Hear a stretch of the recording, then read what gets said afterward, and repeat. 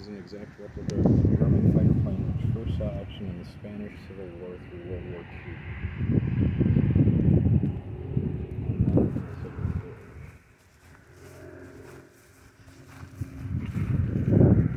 This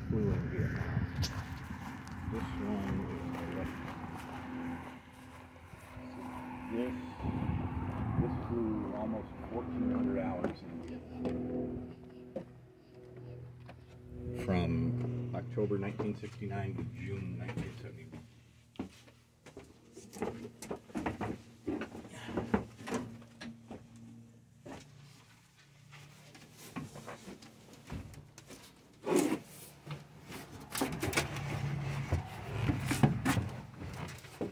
See, so these are transport seats. You got a gunner seat back here. It's like this back uh, back door slides, and you'd have a 50 cal machine.